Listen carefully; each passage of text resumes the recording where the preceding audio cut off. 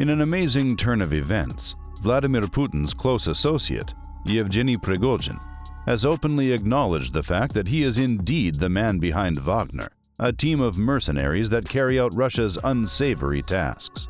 With this revelation, it has opened a plethora of controversies around Yevgeny Prigozhin.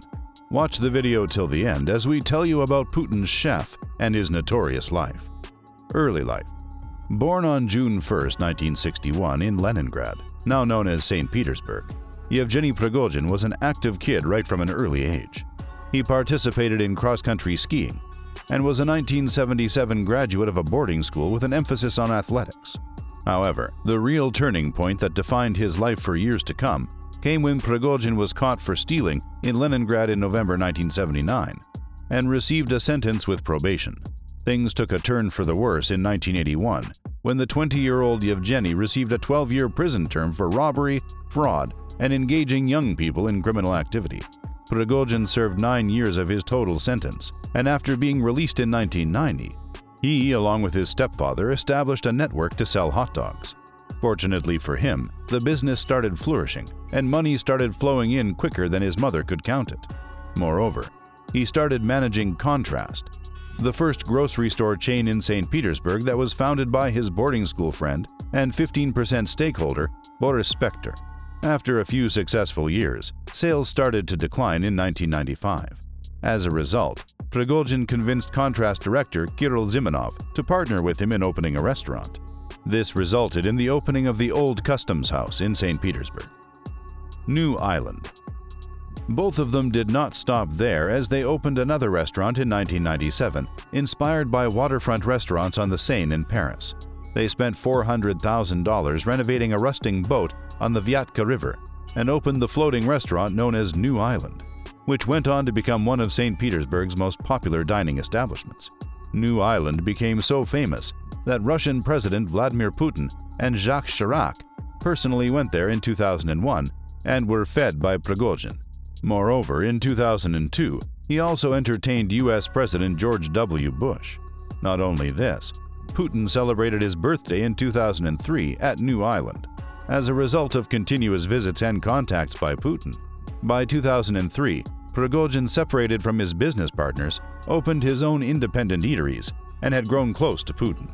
Thanks to his connection with Putin, it started to appear that Prigozhin was free to participate in illegal activities without worrying about being caught.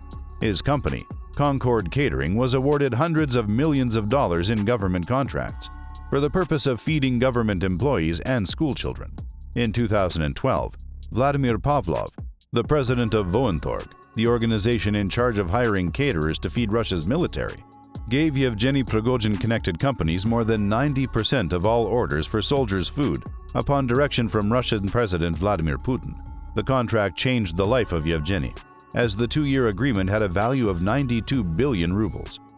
Years of success.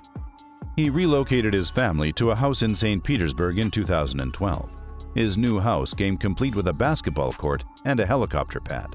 Yevgeny also owned a 115-foot yacht and a private jet, and started paying in cash for everything. Prigozhin started describing himself in correspondence as a presidential administration advisor and a knight of the For Merit to the Fatherland, although there is no official record of him ever receiving this medal. After a year of pure royalty, Sergei Shoigu, Russia's new defense minister, put a halt to the military's outsourcing of culinary service in the fall of 2013.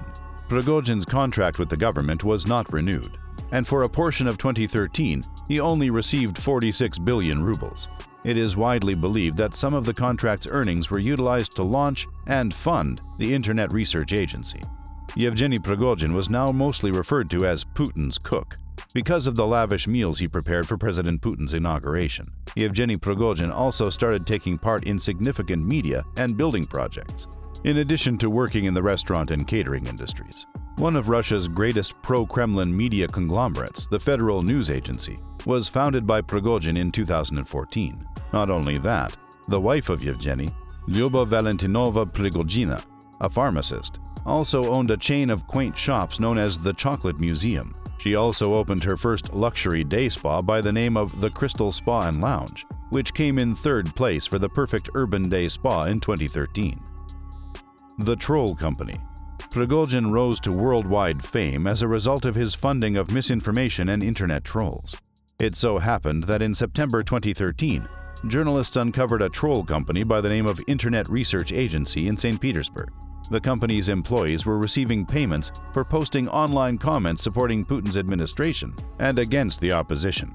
The company had about 400 people continuously sitting at computers and posting on Russian social networks in accordance with pre-written scripts along with the Internet Research Agency, a network of businesses including Concord Management and Consulting Company, all funded and managed by Prigozhin, were charged with using Internet trolls to try to sway the 2016 U.S. presidential election and other political events outside of Russia.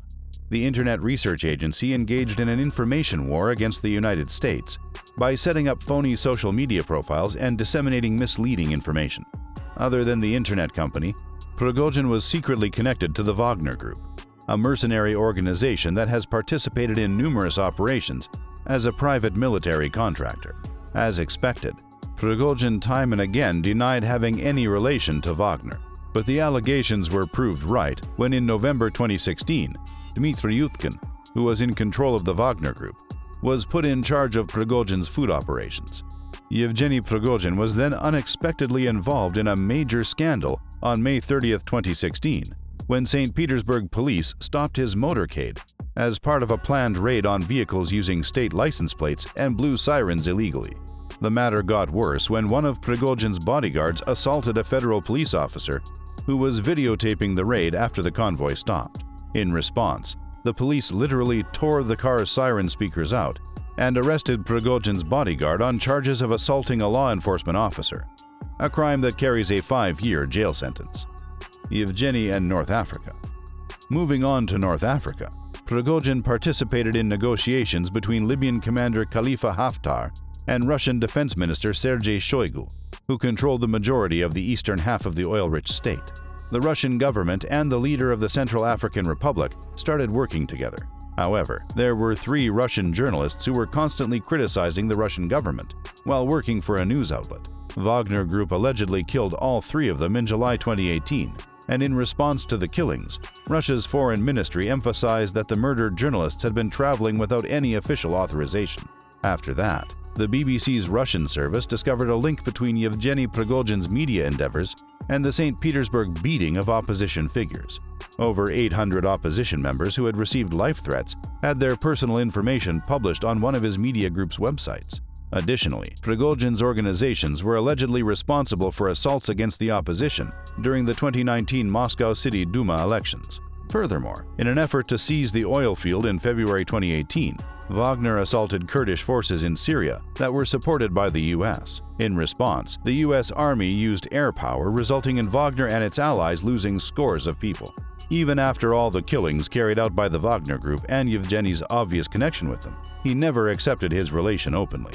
However, until recently, when in a statement posted on the Russian social media platform VK on September 26, 2022, Prigozhin explicitly retracted his earlier denials that he was associated with the group and acknowledged that he had in fact founded it way back in May 2014. Additionally, he corroborated claims that the group had engaged in activities in other nations that supported Russian foreign policy. Wagner and Yevgeny.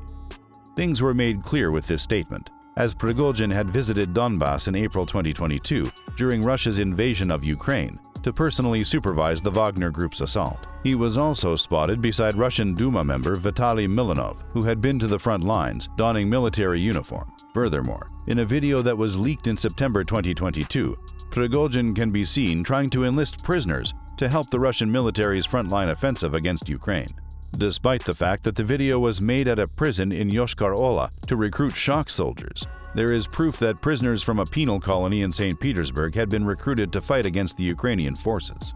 Over the years, Prigozhin has been charged with engaging in corrupt business practices by the Anti-Corruption Foundation.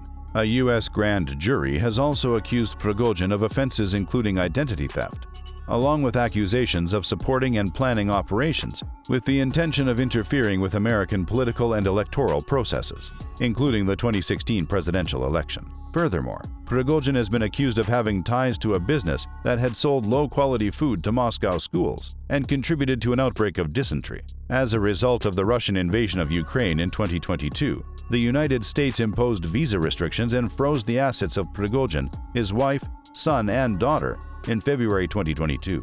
Not only this, Prigozhin was also placed on the Federal Bureau of Investigation's wanted list.